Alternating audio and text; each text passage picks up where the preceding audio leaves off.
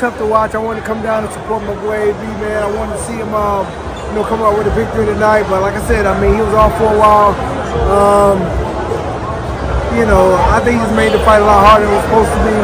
Um, you know, probably not just letting his hand. I, know, I feel like, honestly, man, you know, AB just a himself at this point right now, man. You know, I love watching AB though, you know, but it's just, it's not the same AB that I grew up watching, like, man. Um, I still like.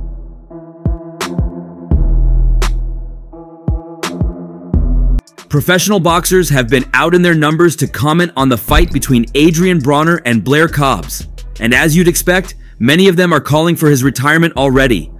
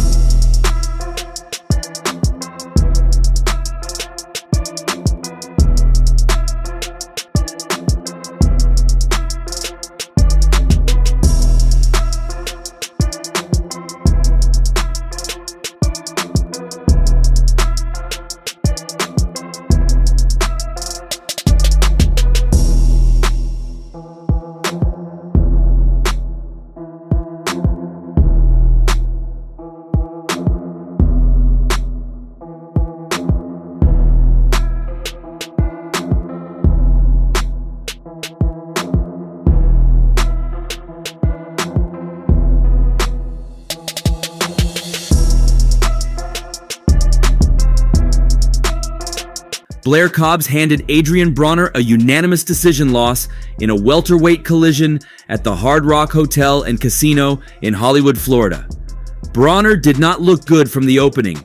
He was hesitant to pull the trigger on punches in the first round and looked much less interested in the fight than his opponent. That lackadaisical approach didn't help him in the second round when Cobbs floored him with a vicious left hand. Broner was able to survive the round, but not without losing a tooth. Broner was able to make a full recovery, but he looked like a shell of his former self.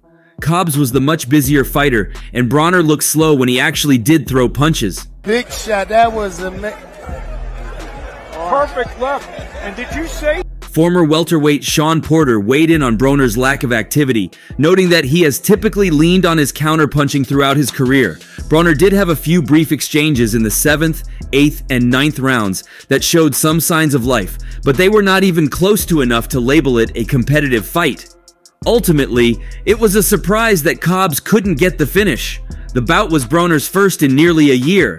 He beat Bill Hutchinson in a convincing, unanimous decision nearly a year ago. That broke a layoff that spanned all of 2022.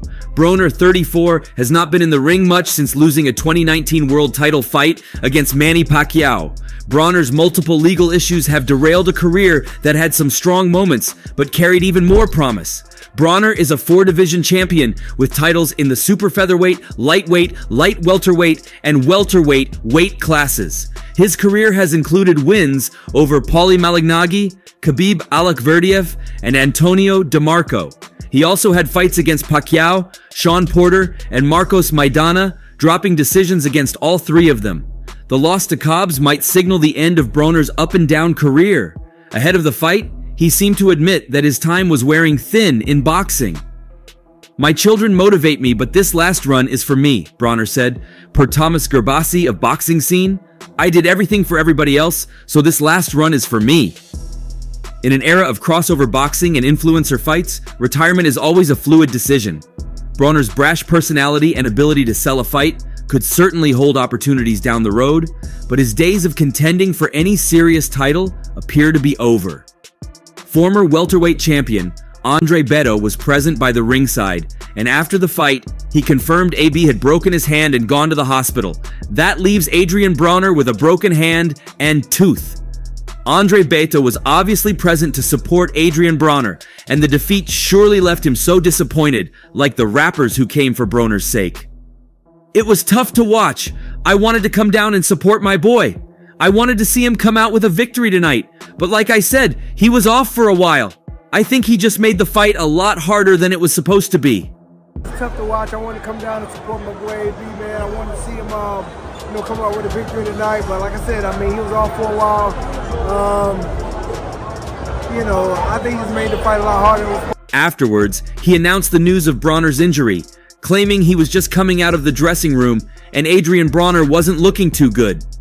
Blair Cobbs had told him it was time to leave the sport. The ring said the same, his tooth said the same, and now his hand is getting him ready to leave the sport. I just left the dressing room. I think he broke his hand, so he's going to be on his way to the hospital. But that's the fight game. How hard it was supposed to be. Um, you know, probably not just letting his hands go enough. But like I said, I just left the dressing room. I think he broke his hand, so he's gonna be on his way to the hospital. But um, that's the fight game, man. Fight. Regardless of the disappointment, Andre Berto claimed he was proud of Broner's ability to defy all odds and make it to the ring again. He's the person that has given us tremendous fights for a lot of years, and the last two years were kind of tough for him. Everybody knows he had a long span off and he's battled with a lot of issues. I was surprised that he was able to be strong enough to go through a camp and come back and fight. I'm proud of him regardless. But like I said, he's lost just how he wants to take it. He has to reevaluate the situation. Also, Andre Berto was asked about what this meant to Adrien Broner if it was a retirement and the final way the sport of boxing bids him goodbye. Expectedly, Berto didn't commit too much with his statements, claiming that was Adrien Broner's decision to make if he wanted a retirement or not. That's his decision. There's one thing about this fight game. You try to stay around too long, and if you don't take it as seriously as you should, it won't love you back. So I think he has to sit firm. If he wants to have this fight, he has to be down and get back, train like he needs to, and be as healthy as possible just to come right back, or if he wants to do some stuff around with it, it won't go well enough. He's a person that has given us tremendous fights for a lot of years, and uh, and it, like last few years has been kind of tough for him. You know, as everybody knows, you know he had a long span off, and of course he's battling a lot of other you know issues. Talking after the fight, American professional boxer and former winner of Ring Magazine Prospect of the Year award, Bruce Carrington said, I feel like honestly, man, AB is just a shadow of himself at this point right now.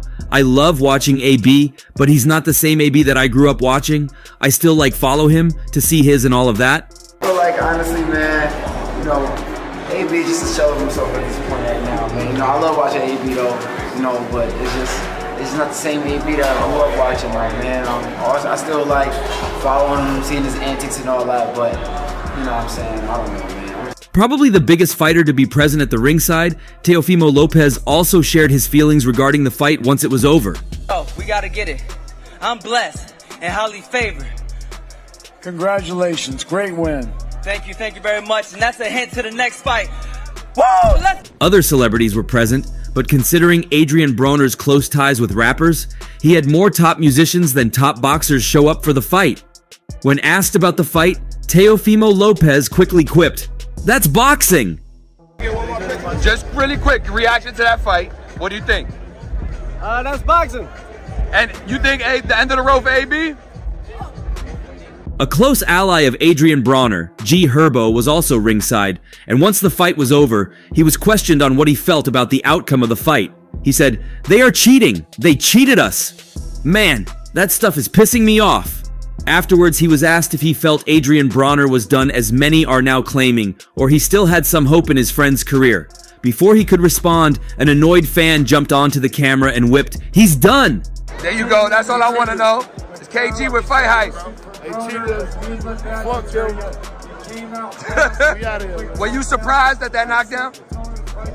Man, that shit just pissed me off. One of those who would be so disappointed in Broner's performance is Calvin Ford, the trainer of Gervonta Davis, who only decided to train Adrien Broner because Gervonta Davis Har invited him to their camp. One of the reporters asked Calvin Ford about Adrien Broner's training camp, and he responded, My thoughts is that he's doing what we need him to do. Um, I'm seeing the transition. I'm seeing a glimpse of what I used to watch when I was on TV, when he was on TV and stuff, said Ford. According to the trainer, almost everyone had given up on the problem. But the fact remains that he never went anywhere, Ford said. But he's still here, so he has a mission that has not been completed yet. So this opportunity that Don gave to him, he gets to show the world that he never left. Another reporter checked whether Davis and Broner were happy to be collaborating together in the camp. Ford replied that he could see Tank paying back for all the favors and help he received from Broner. So in many ways, he stressed their roles have changed since how they used to be earlier. The roles changed. It's like Tank the big brother, Broner the little brother. But they both even because again, that's showing the respect of the levels before and then after. You know, so it's a good thing. Your layoff, I thought that that was a big deal. You know, even with ring rust and all, I look pretty good, and now it's time to get out there to want to look even better at the next fight. I have a tremendous camp. Shout out to everybody that was in my camp. And that's all for now. For the very best updates on news, moments, events, and actions in the world of boxing, stay connected with us by subscribing to our YouTube channel. And don't forget to turn on notifications to get notified when we drop quality contents like this. Until next time, peace out.